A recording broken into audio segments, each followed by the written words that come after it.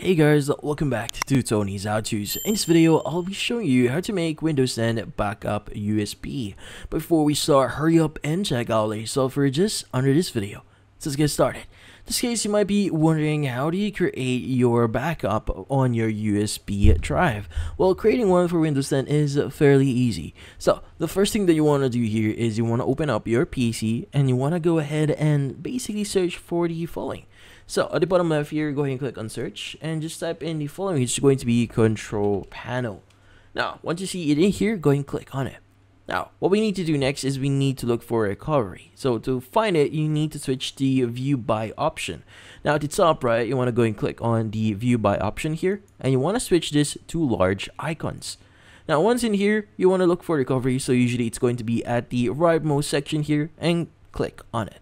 Now, from here, what we need to do next is we need to choose the option that says create a recovery drive.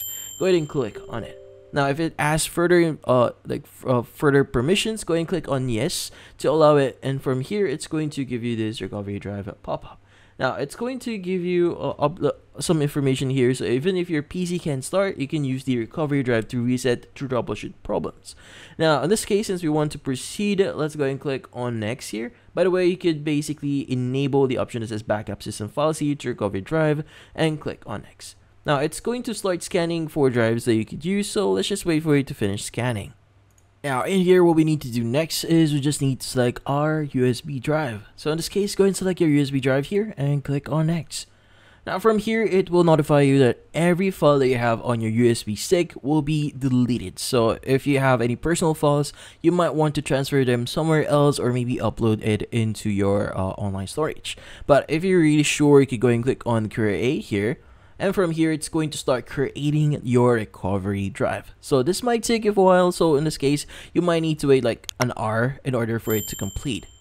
But once the process is done what you need to do next is you just need to eject the USB so this just in case not to corrupt the actual USB now at the bottom right of your screen you want to click on the show hidden icons option here and you want to go and click on the safely remove hardware from eject media. Now from here you want to right click on it and you should be able to see your USB. So in this case, just click on eject USB disk on your USB and once you've done that, that would actually eject your uh, USB. Now, it is now safely to remove from your computer and you can just, basically store this somewhere that is safe. Like for example, a safe or a somewhere that you could basically easy access but still safe or secure.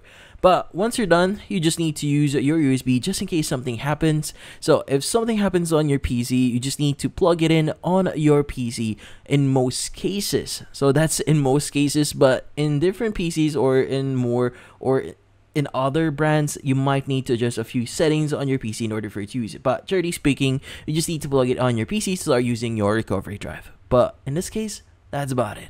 So, if you found this video helpful, hit the like and subscribe button and watch our next video.